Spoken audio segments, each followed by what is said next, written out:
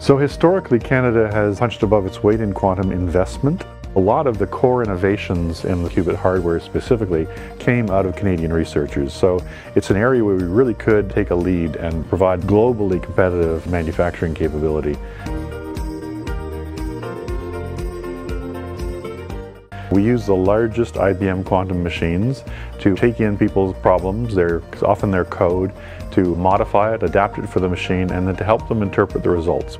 The quantum coding, of course, is something outside of the normal mandate of CMC, but really our interest was more in if we can begin projects in quantum coding and understanding how to use these machines, why can't we build them in Canada? We may be able to build quantum computers for a specific brand of problem, a specific type of problem. If we have more control over the hardware, we'll be able to do some very unique things that perhaps only we'll know how to do. And we'll be able to maintain the intellectual property in Canada.